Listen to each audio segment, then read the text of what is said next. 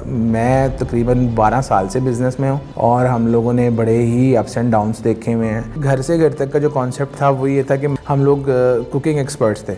मैं और मेरा भाई भी और हम पूरी फैमिली जो है कुकिंग एक्सपर्ट थे। हम लोगों ने स्टार्ट किया सबसे पहले पिज़्ज़ाज़ बनाना।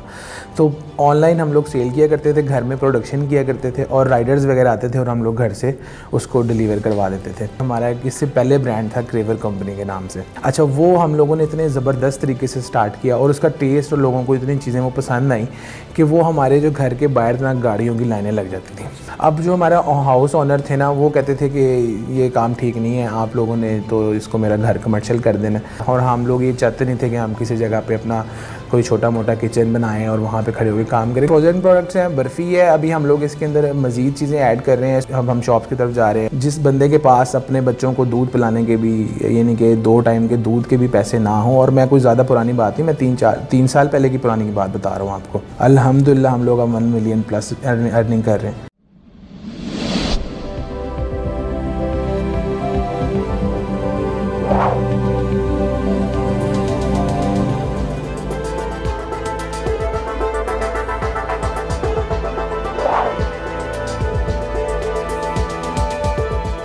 वालेकुम नाजरीन शेयरिंग ऑफ़ प्रोफेशनल विजडम के साथ मैं हूँ अली रहमान खालिद। आज जो मेहमान हमारे साथ मौजूद हैं, वो सीईओ हैं घर से घर तक ब्रांड के। हम इनसे जानेंगे कि इन्होंने अपनी ज़िंदगी का आगाज़, यानी कि बिज़नेस का आगाज़, कब और कैसे शुरू किया, कैसे इन्होंने अपने घर में खाना बनाया और वो लोगों ने उसमें पसंदीदगी का इजहार किया और लोगों की लाइनें इनके घर के बाहर लग जाती थी।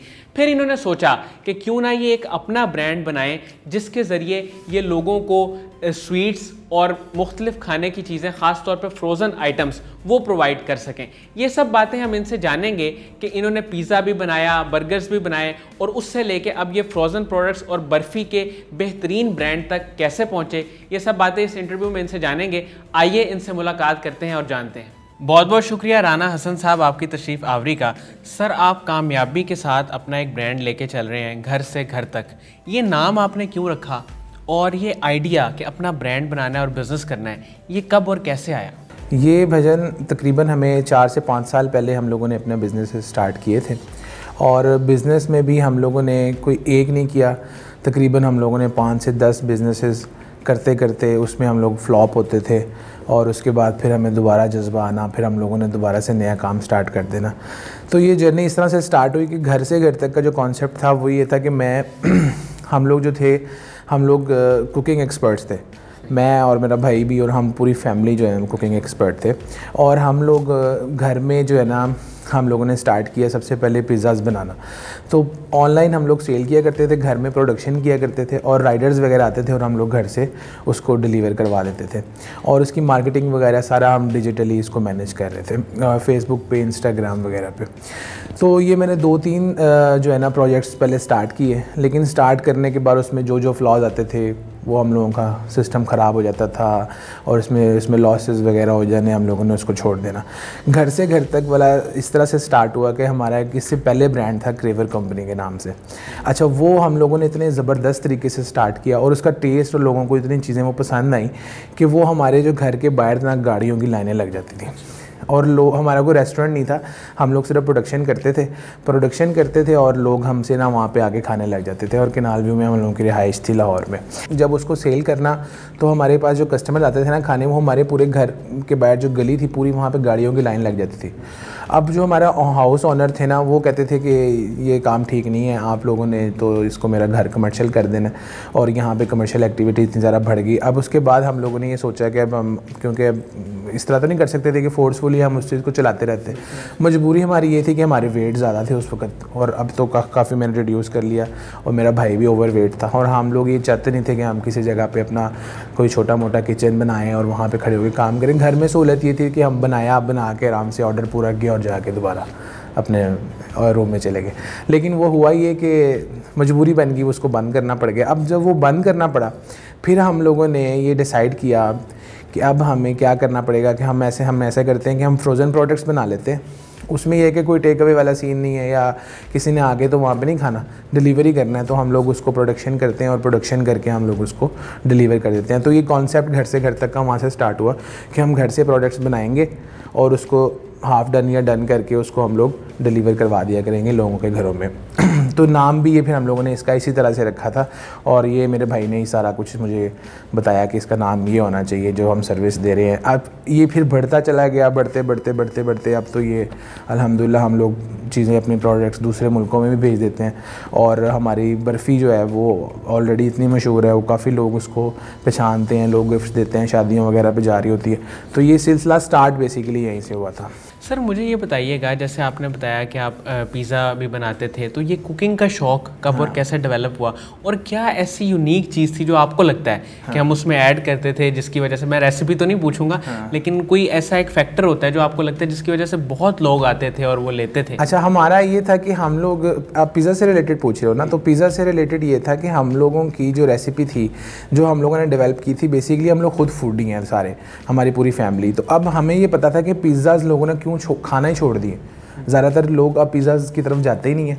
कि उन्हें पता है कि यार वो डो है, वो डो, उस साइडों से वैसे लोग के नारे शनारे उसको छोड़ देते थे। और हम लोगों ने सबसे पहले अपना काम ही डो के ऊपर किया। कि जो उसकी ब्रेड है ना, वो ऐसी होनी चाहिए कि बंदा जब उसके खाए और वो फिर सारे खाक हो जाए। उसको ये ना फील हो कि भाई मैंने ये साइडें छोड़ देनी है या ये वो। तो हमारा 90 परसेंट वर्क उसके ऊपर था। फिर उसके ऊपर हम लोगों ने चीज़ें उसके अंदर ऐड की, उसकी रेसिपीज़ इस तरह से डेवलप कर दी कि जो लोग आते थे, आगे खाते थे ना, फिर उन्हें कोई दूसरा पिज़्ज़ा पसंद नहीं था आता। और वो बंद बस करने की वजह ये थी कि घर मेरा कोई अपना तो था नहीं, हम लोग रेंट पे थे उस वक्त।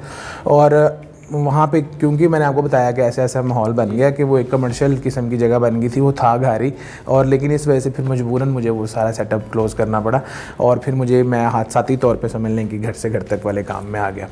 सर घर से घर तक का जब आपने आगाज़ किया हाँ तो इसमें अभी आप क्या क्या प्रोडक्ट्स दे रहे हैं क्या क्या सर्विसेज़ दे रहे हैं और किन किन चीज़ों पर ज़्यादा काम कर रहे हैं? हम लोगों का स्टार्ट जो था वो फ्रोज़न प्रोडक्ट से था, जिस तरह मैंने आपको बताया। और फ्रोज़न प्रोडक्ट्स में भी रेसिपीज़ हम लोगों ने बनानी, उसको बना के उसकी प्रोडक्शन करके हम लोग फ्रीज़ करते चले जाते थे। और स्टार्ट हमारा सारा फ्रोज़न चीज़ों से ही था।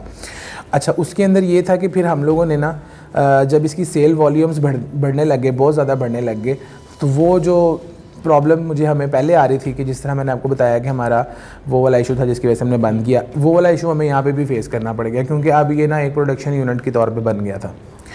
अच्छा मैंने फिर इसका ये हल हम लोगों ने निकाला कि हम इस चीज़ को लोगों तक जो है ना वो शेयर कर दें। जो प्रोडक्शन हमने करनी है, हम अपने साथ घरों को अटैच करते हैं, हम एक एक प्रोडक्ट सब लोगों को दे देते हैं रेसिपीज़ हम लोग उनको देंगे और वो हमारे लिए प्रोडक्शन करेंगे।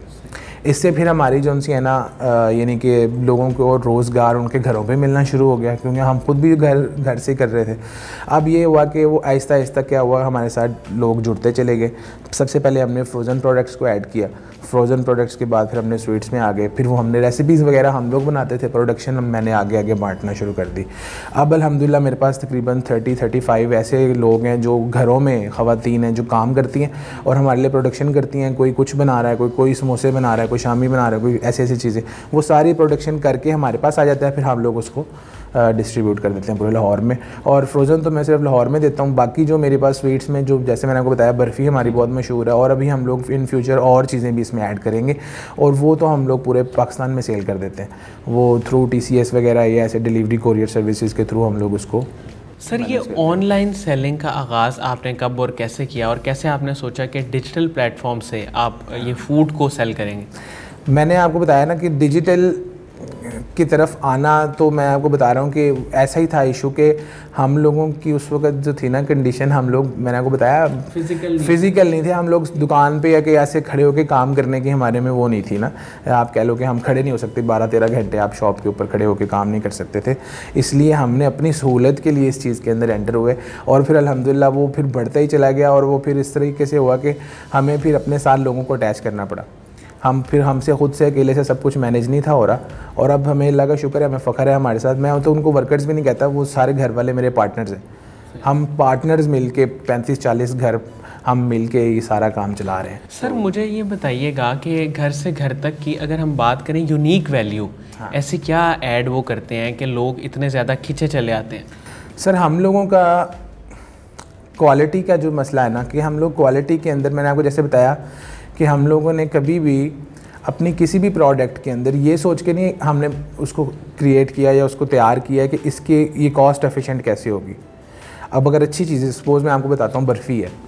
अब बर्फ़ी के अंदर आप अगर मिल्क पाउडर के साथ बनाओगे तो आपको ढाई सौ, तीन सौ में भी पर के जी तैयार हो जाएगी। अगर आपने रॉ मिल्क खालिश दूध के साथ बनानी, आठ किलो आपको दूध चाहिए। अब जिस तरह की चीज़ बनाएँगे, उसके ऊपर कॉस्ट आती है।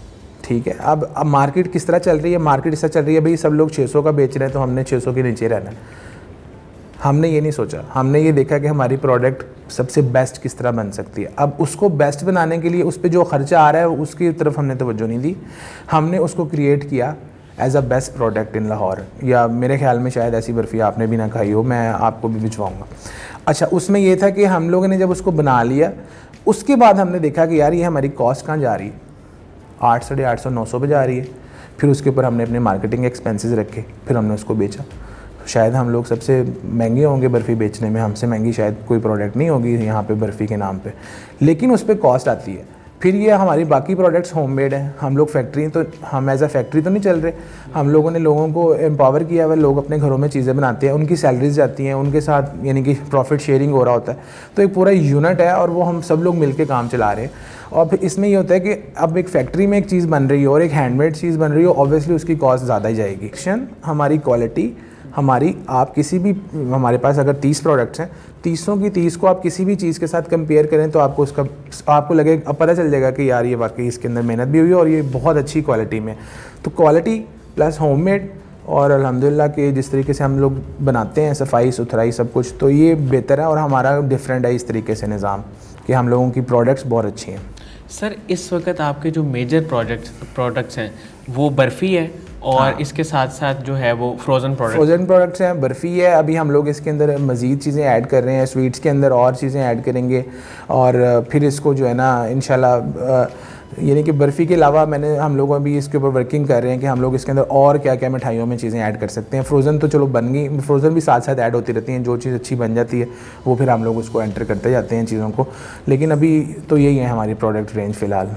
सर इस बिज़नेस के अलावा आप कोई और भी बिज़नेस करें या सिर्फ़ फ़ूड की कैटेगरी में आपका सारा बिज़नेस है? अभी फ़िलहाल मेरा फ़ूड की कैटेगरी में है और मैं तकरीबन बारह साल से बिज़नेस में हूँ और हम लोगों ने बड़े ही अप्स एंड डाउन्स देखे हुए हैं।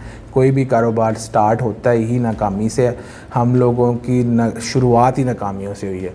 हम ये नहीं कह सकते कि घर से घर तक अब यहाँ पे स्टैंड कर रहा है तो इसके पीछे क्या क्या चीज़ें इसके पीछे तो बहुत बड़ी कहानी है हमारे पे, ऐसे ऐसे वक्त आए हैं। लेकिन अब हम उस चीज़ को बढ़ाते जा रहे हैं। अब सबसे पहले मैं ये देखूँगा कि घर से घर तक को हम मैक्सिमम कितना ज़्यादा वो कर सकते हैं, बढ़ा सकते हैं। तो स्टार्ट हम लोग लाहौर से करेंगे। और फिर हम इसको पूरे पंजाब के अंदर एज अ यानी कि शॉप्स हम हम शॉप्स की तरफ़ जा रहे हैं हम ये सोच रहे हैं कि इसको डिजिटल से अब प्रॉपर आप शॉप्स की तरह से भी इसको स्टार्ट किया जाए। तो इसके ऊपर वर्किंग चल रही है और इन जल्द इसको आपको ये रोड्स पे, दुकानों की सूरत में आपको नज़र आना शुरू हो जाएगा। प्रोडक्शन ऐसी ही होती रहेगी मेन हमारा जो जैसे मैंने आपको बताया घर से घर तक है वो वैसे ही रहेगा प्रोडक्शन भी वैसे ही रहेगी लेकिन यह है कि लोगों की सहूलत के लिए फिर हम लोग जगह जगह पे अपने पॉइंट्स ओपन करते जाएँगे और फिर इसको फैला के पूरे पंजाब में फैलाएँगे इन सर बहुत सारे लोग बिज़नेस आइडिया पर काम करते हैं सोचते हैं लेकिन वो उसके चैलेंजेस को देखते हुए उसमें आते नहीं। आप उनको क्या एडवाइस करेंगे? सर मैं तो उनको अली भाई एडवाइस यही करूँगा कि बिज़नेस के अंदर कोई लिमिट्स नहीं होती। जब आप एक लेवल पे पहुँच जाते हैं ना उसके बाद आपकी इनकम की कोई लिमिट नहीं होती। उस लेवल पे पहुँचने के लिए बहुत बेशुमार जज्बा चाहिए आपको। उसके अंदर आपको पहुँचने के लिए आपको मार खानी पड़ती है। मैं आपको वैसे बता रहा हूँ कि 12 साल से हम लोग करते करते करते करते कैसे कहाँ तक पहुँचे हैं। अब जिस बंदे के पास अपने बच्चों को दूध पिलाने के भी यानी कि दो टाइम के दूध के भी पैसे ना हो और मैं कोई ज़्यादा पुरानी बात नहीं मैं तीन चार तीन साल पहले की पुरानी की बात बता रहा हूँ आपको। कि मेरी जेब में ये पैसे भी नहीं होते थे कि मैं अपने बेटे के लिए दूध के परचेजिंग कर सकूँ। अल्हम्दुलिल्लाह हम लोग अब वन मिलियन प्लस अर्निंग कर रहे हैं। और हमारे साथ कितने लोग हैं जो हमारे साथ अटैच हुए हुए हैं। तो मकसद कहने का ये है कि जिसने भी बिज़नेस में आना है, वो ये सोच के ना आए कि इसमें कोई शॉर्टकट है। सबसे पहले इसमें कोई शॉर्टकट नहीं है। शॉर्टकट नहीं है, आपको बहुत ज़्यादा मेहनत करनी पड़ेगी, बहुत ज़्यादा सड़कों के ऊपर मार खानी पड़ेगी। बहुत सी चीज़ें ऐसी होंगी जो आपको फ़ील्ड में जाके समझ आती हैं। तजर्बात जो है ना, जो आपके सामने चैलेंजेस खड़े होते हैं, वो आपको बड़ा करता जा करते जाते हैं। यानी आप, आपके सामने कोई सिचुएशन ऐसी आ जाए कि आप उसमें फंस जाओगे, लेकिन आप जब उसमें से निकलोगे ना तो वो आपको बड़ी छोटी लगने लग जाएगी। आप आप बड़े हो चुके होगे उसके अंदर। तो ये चीज़ें हैं कि आप जो है, वो इसमें बस दिल बर्दाश्त रहो। जो फ़ील्ड आपने चूज़ कर ली है, अगर आपको लग रहा है कि ये मेरे मकसद की नहीं है, मैं इसमें कामयाब नहीं हो रहा आप यू टर्न ले लो। नो इशू यू टर्न लो, कोई और फ़ील्ड पकड़ लो। मकसद ये है कि कॉन्टीन्यू कॉन्टीन्यूटी आपकी ऐसी होनी चाहिए कि आप अपने फ़ील्ड को ना छोड़ें, आप अपने जज्बे को, अपनी मेहनत को पे कायम रहो। आप उसके ऊपर मेहनत करना ना छोड़ो। फ़ील्ड गलत और ठीक हो सकती है। मैंने कितने सारे काम किए, लेकिन मैंने छोड़ दिए। मुझे लगता था कि यार ये मैं अब यहाँ पे फंस गया हूँ, इससे आगे ये मैं इसको बढ़ा नहीं सकता।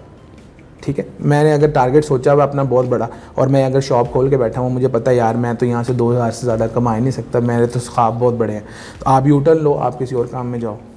नो no इशू लेकिन आप मेहनत करना ना छोड़ें। उसमें कॉन्टीन्यूटी लाजमी होनी चाहिए। उसमें हार मान के बैठना नहीं है।